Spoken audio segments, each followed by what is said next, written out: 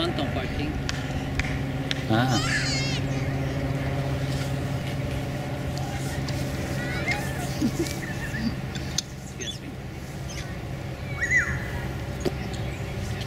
Ça Boum. Pareil qu'il y a toujours une attaque aveugle en fait, qui arrive. Je pense, ce que, ce que je peux comprendre, quand tu, euh, tu blindes quelqu'un, il y a souvent une attaque aveugle qui part. Hop.